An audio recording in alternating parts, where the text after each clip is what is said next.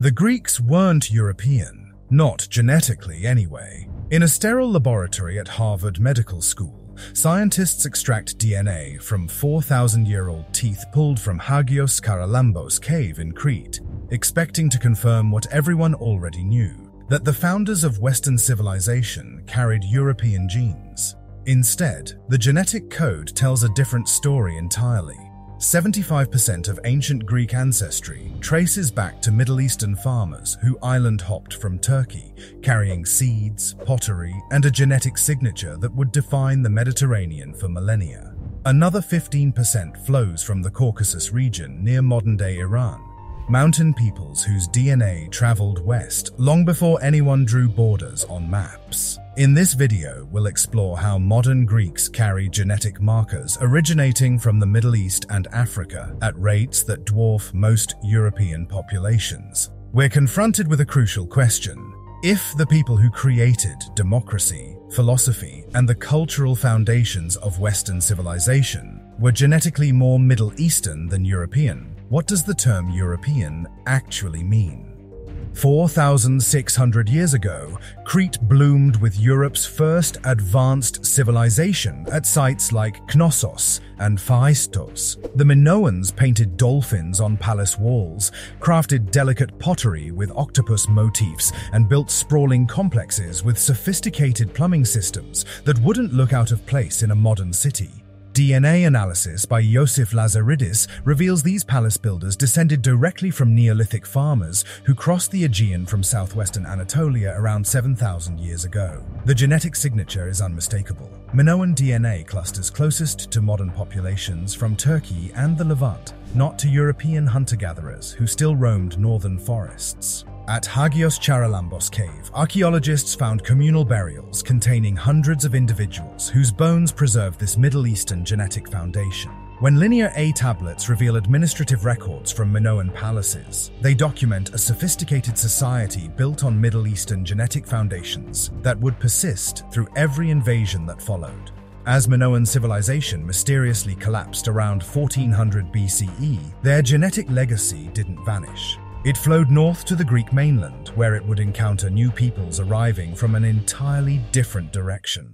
On the Greek mainland, excavations at Mycenae reveal royal shaft graves containing warriors buried with golden death masks and bronze weapons that tell a story of genetic mixing on an epic scale. The legendary Mycenaeans inherited the Minoan genetic foundation, but genetic analysis reveals something revolutionary. 4 to 16% of their ancestry came from Eastern European steppes. DNA extracted from burial sites shows these Bronze Age Greeks combined Middle Eastern farmer ancestry with genetic signatures from nomadic peoples who had traveled vast distances across the Eurasian steppes. Y chromosome analysis reveals the introduction of haplogroup J, rare in earlier European populations, but common throughout the Caucasus and Middle East, now dominating Mycenaean male lineages. Archaeological evidence from sites like Pylos and Tiryns shows Mycenaean Greeks built massive cyclopean walls and developed Linear B script to administer a warrior society that controlled trade routes from Spain to Cyprus. But these Bronze Age Greeks weren't isolated. Their maritime empire connected them to civilizations across the Mediterranean, setting the stage for genetic exchanges that would continue for millennia. The Mediterranean functioned as a genetic highway connecting civilizations from Spain to Cyprus through maritime trade networks that mixed populations for thousands of years. Phoenician merchants from Tyre and Sidon established permanent settlements at Greek ports and created the alphabet that Greeks adapted to write the philosophical works defining Western thought. Recent archaeological excavations at Kommos in Crete reveal Phoenician pottery mixed with local Greek artifacts, physical evidence of populations that intermarried rather than remained separate. Roman conquest of Greece in 146 BCE brought not just political control but centuries of colonial settlement, with Roman administrators, soldiers, and merchants establishing permanent communities throughout Greek territories.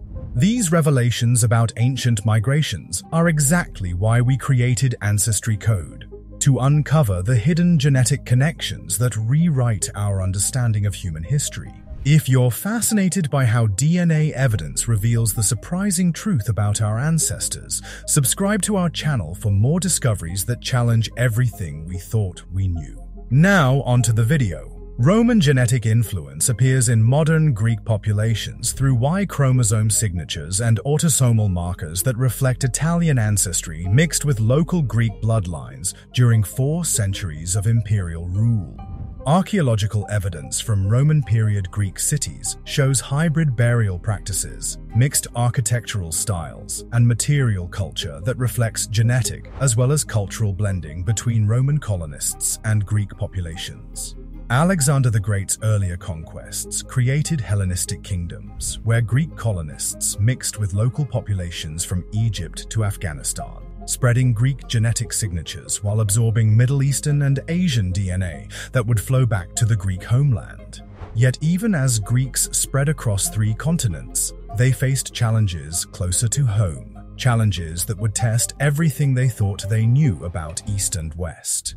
When Persian armies invaded Greece in 490 BCE under Darius, then again in 480 under Xerxes, the conflicts were framed as East versus West, civilization against barbarism. But genetic evidence reveals the uncomfortable truth. Both Greeks and Persians shared substantial Middle Eastern ancestry from the same Neolithic farming populations that had spread across the region thousands of years earlier. Modern DNA analysis confirms that Greeks and Persians derived from identical ancestral sources, Anatolian farmers mixed with Caucasus hunter-gatherer populations, making them genetic cousins rather than foreign enemies. Persian administrative control over Greek cities in Asia Minor from 546 BCE created centuries of genetic exchange between ruling Persian families and established Greek populations. Major Greek centers like Ephesus and Miletos functioned under Persian rule for generations, where intermarriage between Persian administrators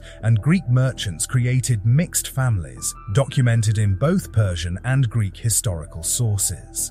The extensive Persian Empire included dozens of Greek-speaking cities, where cultural and genetic blending occurred over centuries of coexistence, with archaeological evidence showing hybrid burial practices and mixed material culture. Y chromosome analysis reveals both populations carried similar frequencies of haplogroup J, the Middle Eastern marker that dominated male lineages throughout the ancient Near East. The famous battles of Marathon and Thermopylae took place between related Mediterranean peoples rather than fundamentally different civilizations, a truth that ancient propaganda obscured but modern genetics reveals. As the Persian threat receded, Greeks could never have imagined the demographic tsunami that would sweep down from the frozen north centuries later, carrying genetic signatures that would fundamentally transform the Balkans. Between 600 and 800 CE, massive Slavic migrations from the Pripet marshes of Ukraine and southern Poland transformed the genetic landscape of southeastern Europe in ways that archaeology is only beginning to understand. Picture entire villages abandoning their ancestral homes, families loading ox carts with children and livestock, following rivers south toward warmer lands they'd never seen. This demographic revolution began when Avar horsemen from the Asian steppes pushed Slavic tribes south across the Danube, creating population movements so massive they fundamentally altered the Balkans forever. Archaeological sites like Olympia show Slavic pottery styles appearing suddenly in the 7th century CE, marking the arrival of entire tribal confederations carrying families, livestock, and distinctive genetic signatures. In mainland Greece, genetic analysis reveals 30 to 40% of modern ancestry derives from these medieval Slavic settlers, with regions like Mani showing even higher percentages. The newcomers brought Y chromosome haplogroups R1a and I2, genetic markers that appear throughout Greek populations today, proving demographic replacement rather than just cultural influence. Village names across Greece preserve this Slavic heritage. Dragomirna in Euboea, Sklabina near Thebes, and dozens of other settlements that echo the Slavonic languages of their medieval founders. The genetic transformation was so complete that when Ottoman armies arrived centuries later, they encountered Greek populations already carrying the mixed bloodlines that would make the empire's next chapter possible. When Mehmed the Conqueror incorporated Greek territories in 1453, the Ottoman Empire created one of history's most fascinating examples of genetic reconnection across centuries. The Ottoman millet system allowed Greek Orthodox communities to maintain religious autonomy, while Turkish, Albanian, and other Muslim populations established permanent settlements throughout Greek territories. Genetic studies reveal measurable ancestry from Ottoman-era populations in modern Greeks, particularly Turkish and Albanian signatures, concentrated in areas of heaviest settlement. The Devshirme system recruited Christian boys from Greek families for Ottoman service, creating complex networks spanning ethnic boundaries that facilitated intermarriage across the empire.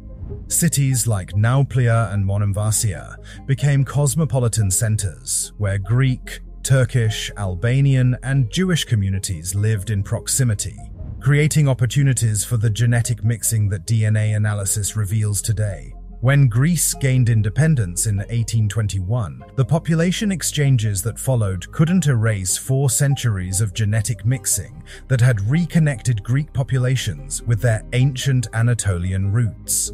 The full scope of this genetic complexity would remain hidden until modern laboratories could decode the layered story written in Greek DNA. In genetics labs at Harvard, the University of Washington, and research centers across Europe, scientists decode the genetic signatures that define modern Greek identity through analysis of both ancient and contemporary DNA samples. The groundbreaking study by George Stamatoyiannopoulos and colleagues published in Science analyzed over 1 million genetic markers, revealing the complex ancestry that defines Greek populations today. Autosomal DNA analysis places Greeks in a genetic position balanced between Europe and the Middle East, clustering closer to Anatolian and Levantine populations than to Northern Europeans in principal component studies. Y chromosome studies reveal Greeks carry some of the highest frequencies of haplogroup E outside of Africa, a genetic signature that originated on the African continent and traveled north through Middle Eastern populations. Haplogroup J appears at elevated levels throughout Greek populations, creating genetic profiles that differ dramatically from typical Northern European patterns dominated by haplogroups R1a and R1b. Regional variations within Greece tell precise stories of historical influence. Studies show 29.9 to 40.2% Slavic ancestry in Peloponnese and Macedonia Greeks, while Cretan and Cyclades Greeks display 17.9 to 19.7% Slavic genetic signatures. A 2023 study published in Cell analyzed 146 ancient samples and confirmed that Slavic migrations contributed more than half the ancestry of most Balkan peoples, even in countries like Greece, where Slavic languages disappeared. The Harvard study led by Lazaridis comparing ancient Mycenaean and Minoan DNA to modern Greeks confirmed substantial genetic continuity spanning over 3,000 years, despite centuries of migration and conquest. These laboratory revelations force an uncomfortable reckoning with everything we thought we knew about European identity. If the people who created democracy, philosophy, and the cultural foundations of Western civilization were genetically more Middle Eastern than European, what does the term European actually mean? Greek genetics expose the arbitrary nature of continental boundaries, revealing that the Mediterranean has always functioned as a zone of mixing rather than a barrier between distinct populations.